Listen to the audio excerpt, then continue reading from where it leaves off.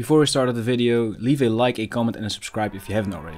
If you want to get the Photoshop files and every other project file for this video, you can become a patron of mine. Check it out through the link in the comments or stick around till the end of the video to learn more. Alright everyone, so I know this video is a little bit different from what you're used to on this channel, but I promise you this video also involves graphic design and you can paint this jacket even if you've never painted a denim jacket before. You don't even need illustration skills. So what you will need for this video is a jacket obviously, white fabric paint, black fabric paint, a large and small brush, and the brush can be larger than this, a fabric marker, fine liner or brush pen, a drawing tablet and a projector. Alternatively, if you don't have a projector, you can also use carbon paper. And I'll explain how and why once we get there. The drawing tablet is optional as well and you can use tracing paper as an alternative.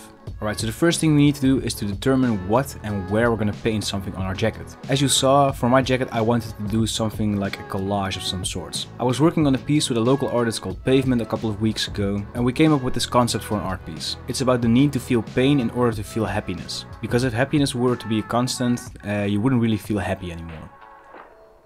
Anyways, during this process I made a collage and I used tracing paper to trace over the collage and turn that collage into an illustration. We didn't end up using it, but the illustration that I made looked pretty dope, so I decided to put it on a jacket. Alright, so the first step is to make your jacket into a canvas. Because you cannot always see any color of ink on denim very well, it's always best to use some sort of primer. I usually paint a couple of coats of white fabric paint on my jackets. I would advise you to use a large brush to do this. I used to have a larger brush, but I couldn't find it for this tutorial, so I used a smaller one. But it doesn't really matter, it just takes a lot more time this way. So in this example I did 3 coats, but it depends on what paint and what jacket you use. As long as the parts you want to paint are covered with a solid white coat of paint, you're good to go. Just make sure you leave the paint to dry each time you apply a new coat of paint. Alright, so while our paint is drying, let's start on our design. I looked up a couple of photos on Unsplash for use for my collage.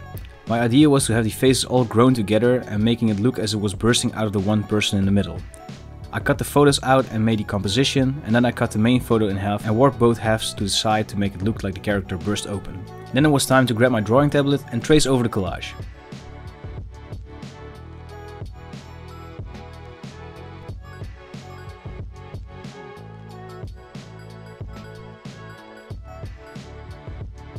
If you don't have a drawing tablet, you can print out the collage on a couple of pieces of paper and then trace it with tracing paper.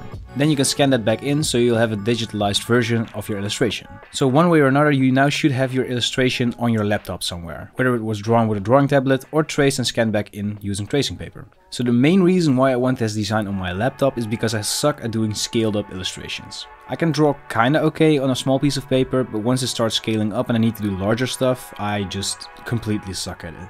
But this is where my beamer comes in. You want to project your illustration onto your jacket so you can trace it with some sort of ink marker or whatever. So I put my beamer on my desk in my office and hung my jacket on a clothing rack. I also taped the sleeves onto the desk it was leaning against to minimize the moving of the jacket as I was painting the outlines. For this I used the fabric marker at first, but later found out that the brush pen actually had better results. So I only recently bought this beamer, but I used to do this without one. I printed my design out with low transparency, and I put that over a piece of carbon paper on the back of my denim jacket and then I started tracing. The carbon paper then makes sure that the illustration gets on the back of the jacket. This is definitely more time consuming, but it's a nice alternative for if you don't have a beamer. However, beamers used to cost a lot of money, but I just bought mine for 60 euros, so that's not too much if you ask me. So now that you have the base of the illustration on the back of your jacket, it's time to start the actual painting process. Grab the black fabric paint and the small brush, and start painting. This takes some time, but it's actually quite relaxing.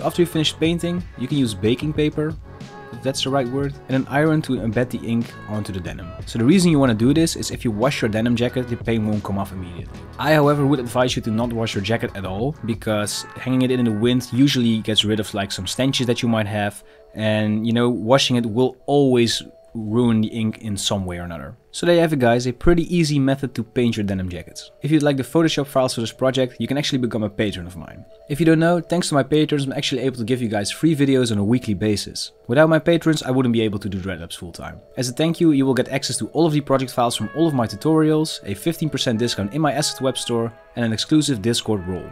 If you go one tier up, you'll also get access to exclusive videos, such as how to create a death metal logo from scratch. So if you want to become a patron, there's a link down in the description. But if you don't have the money to support Dreadlabs, that's completely fine.